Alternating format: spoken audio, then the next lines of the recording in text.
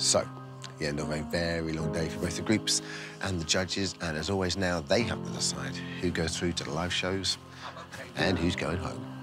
Misunderstood. They tick all the boxes. And also, there is something wonderful about an act who know who they are. I don't know if all of their material can be good enough to get the vote to come back next week.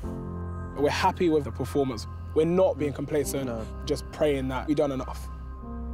I think you made a great decision putting those two together. I love their energy. Yeah. I love their vibe.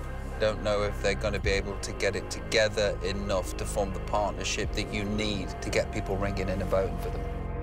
Robbie and David literally have our fate in their hands, and we hope that they make the right decision. It's out of our hands, and we need to be in these live shows. We need to. I thought vocally it sounded amazing. I worry about the dynamics within the group. I would like more anarchy from them. I'd like more naughtiness. I think we're all feeling nervous, but we definitely gave our best performance. After that performance, we do feel confident, but it could go either way. So hopefully, he gives us a chance and puts us through to the lives. The Al MA choir.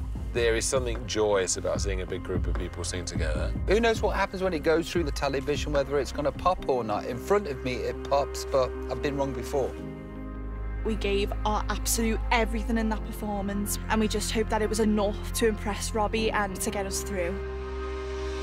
Do you think you have got the winner here on this table? I do, yes.